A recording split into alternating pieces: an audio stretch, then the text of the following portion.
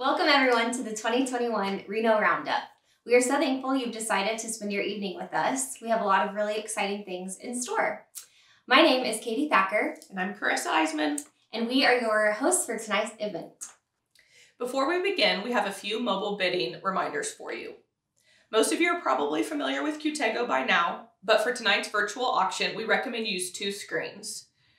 We encourage you to be watching this on either your computer or your TV and use your smartphone to bid, look at raffle items, and for the fund to need later tonight. If you haven't already registered, you can do so at the link that is on your screen now. Once registered, you can view all live and silent auction items and begin bidding. I encourage you to set those max bids on any item you have your eye on. We also have a few raffle opportunities tonight, and you can check those out on the InstaBuy tab on Qtego. Remember, the funds raised through the wine pull are directly helping patients who have already maxed out their benefits for the year. We will be announcing the winners of the early registration shortly, the golden ticket winners throughout the live auction, and the raffle winners towards the end of the show. So stay with us. The silent auction will end at 10 p.m., so you'll have plenty of time to review your items and bid after we're done. So who's ready to find out who the winner of that $250 cash is? 187 of you registered before the end of January. And our winner is Janelle Vieira. Congratulations. Did you know that all funds raised tonight will be directly used to help cancer patients and their families battling cancer right here in Reno County? The Cancer Council provides a multitude of goods and services to the patients we serve. In fact, since 2015, CCRC has spent over $1.5 million on the specific needs of our patients. Needs such as gas cards and new tires on their vehicles so they can get to and from treatment, iPads so our youth patients can stay connected in their classrooms, microwaves so our patients can have warm meals, skincare treatment, dental assistance, grocery delivery, and so much more. Every dollar raised by the Cancer Council goes directly back to our patients and their needs. CCRC serves hundreds of patients of all ages every year. It is important to recognize that we would not be able to provide the support that we do to our patients without the support of our community. And that is why we're all here tonight. As we settle in for tonight's festivities, let us all remember why it is so important to support the Cancer Council. Hey, everybody, we hope you're having a great time tonight at the Roundup, and thank you for being a part of it. I'm Paul Erickson principal at Union Valley Elementary School. I'm a lifelong resident of uh, Hutchinson, Buhler area right here in Reno County. Uh, by the way, this is our, our last day of school for Christmas, hence the reason I'm sporting these Christmas duds. Wanted to get that out of the way. All right. So my journey with the Cancer Council as a board member started five years ago when uh, Sandy Woodson and Bob Capps asked me to be a part of the board. I was thrilled. I had been to many, many roundups in the past and, and other fundraisers that the Cancer Council Reno County had sponsored, had a blast, and it really admired their work. So to be a board member was a true honor. And with me being a lifelong educator, I can help fill a space as an education liaison where we can connect with schools and families and really ensure that families who have who have children that are battling cancer understand that the Cancer Council Reno County is here to help, here to support, and help them power through tough times. So that's been very rewarding. Sandy and I have met with the nurses. All of our, many of our schools in Reno County are blessed with nursing, and we've been able to connect with our nurses and really make them the spokespeople for the Cancer Council and what it can do for students who, who may be battling cancer. So it's been a very rewarding experience. We certainly appreciate all that you do to continue to help us do our work as a Cancer Council and as a board. So we hope you have a great time tonight. Thank you for joining us. My name's Lynn Harris, and I've been on the Cancer Council Board of Reno County for the past three and a half years. I have helped with the Roundup for many, many years, though. I can tell you that event has fast become not only the time to gather and raise money for a great cause, but an annual ritual to get together with old friends and meet new ones. As the event grew, so did the Cancer Council of Reno County's impact to be such a valuable resource uh, to the people in our community. Uh, the memories that I have of so many years of the Roundup really involve my dad, Jim Gardner, and Jack Stout.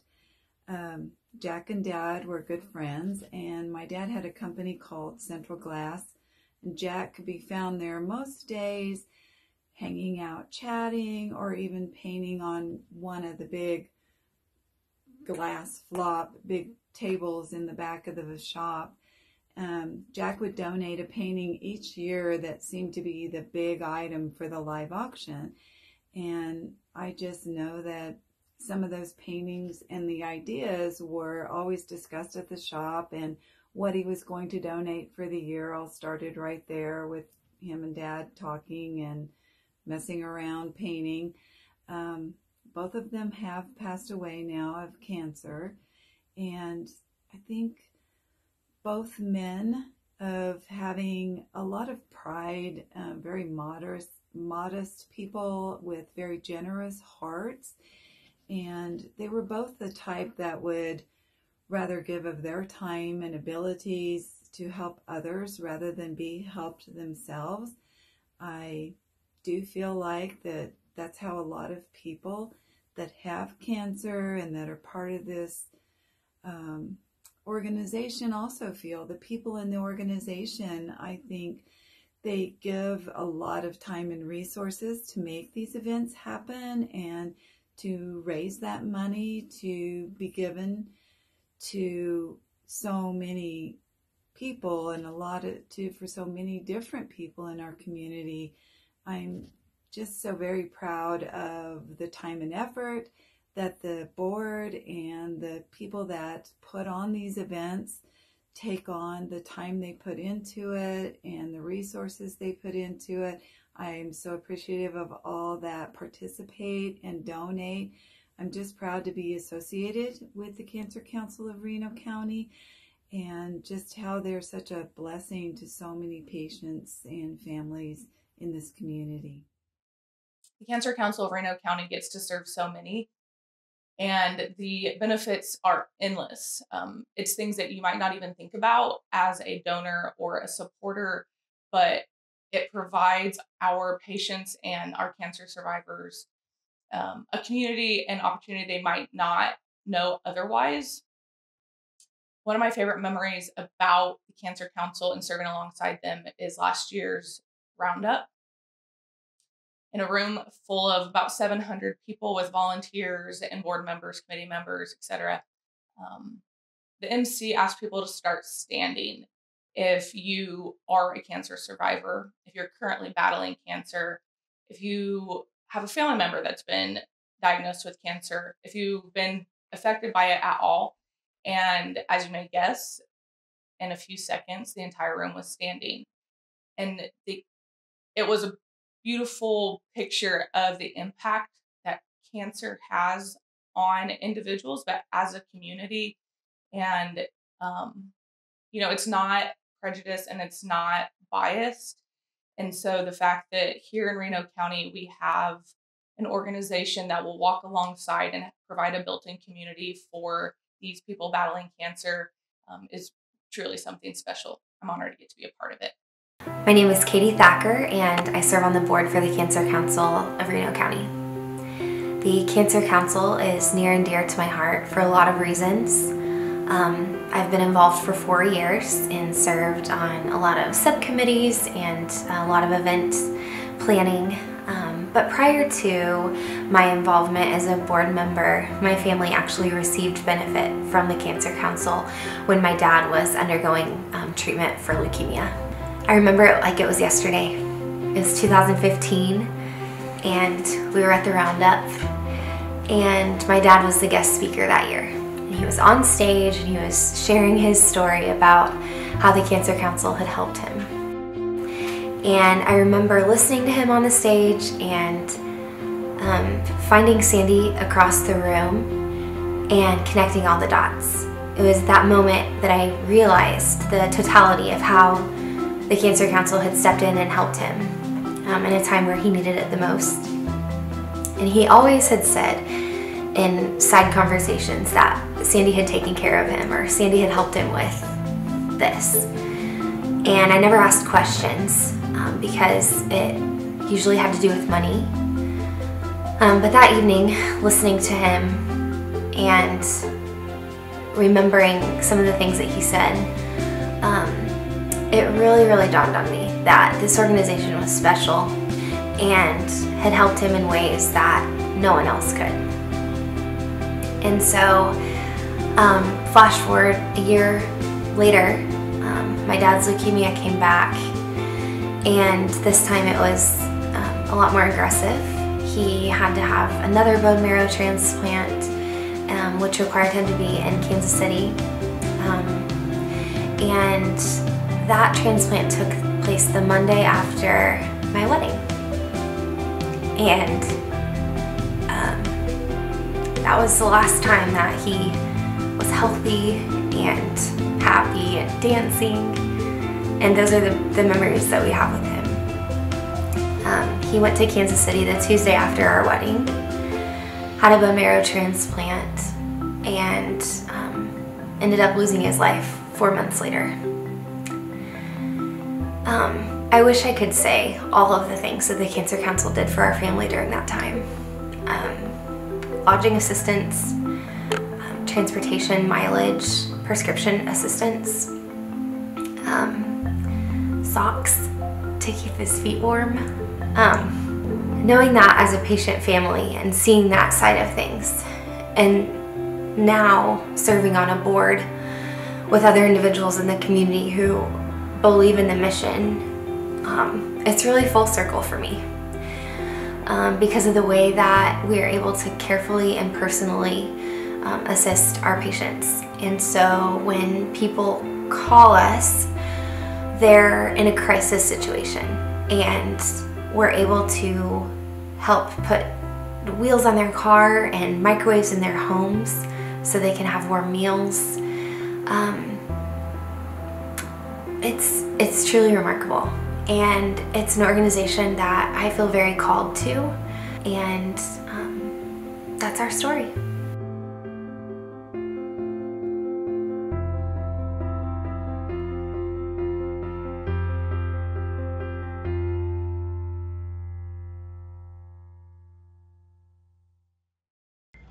Good evening. My name is Mark Keaton, and I serve as CCRC Board President. On behalf of the CCRC Board and the patients we serve, I would like to thank the following for their tireless efforts to make tonight's event a success. To the Roundup sponsors and donors, CCRC and our patients, thank you for your generosity and support. To the Roundup committee members, thank you for all you did to execute on the mission of serving our patients. The work that you did is part of the secret sauce that makes CCRC so special. To the CCRC board members, thank you for your time, talent, and treasure to make the CCRC one of the premier charity organizations in the region. And to Carissa and Alex Iseman for the behind the scenes work that brought you the virtual aspects of the event, including the mobile bidding experience in partnership with Qtego. And of course, tonight's event would not have happened without the efforts of Katie Thacker. From corporate fundraising to logistics to her leadership of the community members, she has worn so many hats to deliver tonight's event. Thank you very much. We know tonight would not be possible without the generosity and support of our sponsors. Midway Motors is the presenting sponsor for tonight's auction, and we are truly so thankful for their support of CCRC year after year. In fact, tonight marks, marks the sixth year in a row of Midway Motors being our presenting sponsor, which means they have spent over $60,000 giving back to CCRC.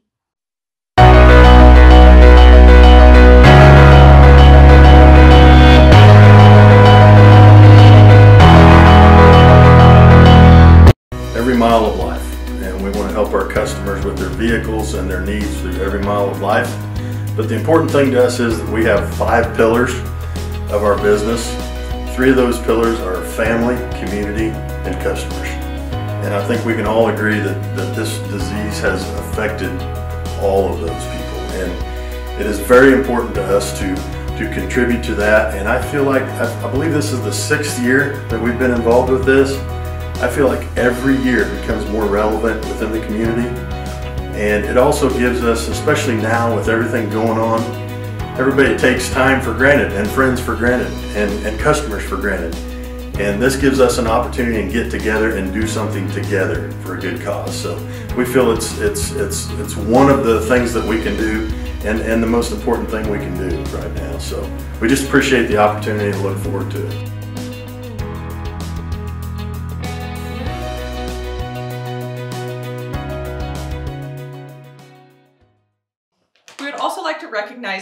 Premier sponsors for their generosities.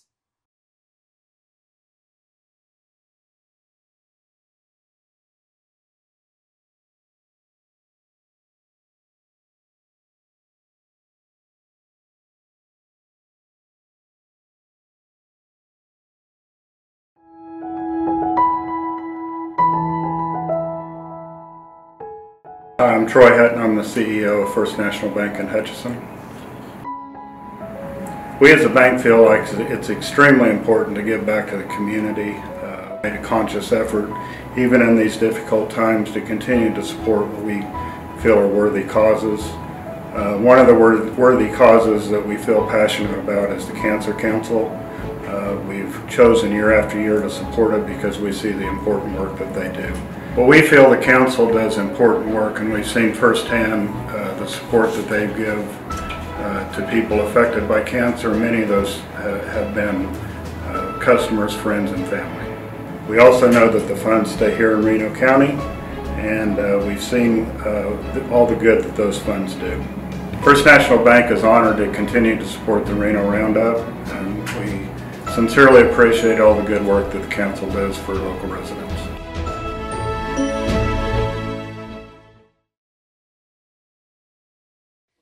Cancer Council of Reno County is truly thankful for the support we've received for not only this event, but all throughout the past year. In such unprecedented times, we have been humbled by the countless donations, random acts of kindness, and persistence of those who believe in our mission. We would also like to thank those who serve on CCRC's Board of Directors and also our 2021 Reno Roundup Committee members who have made this virtual auction a true jubilee. Also, thank you to Alex Iseman with Iseman Design for the production of tonight's events.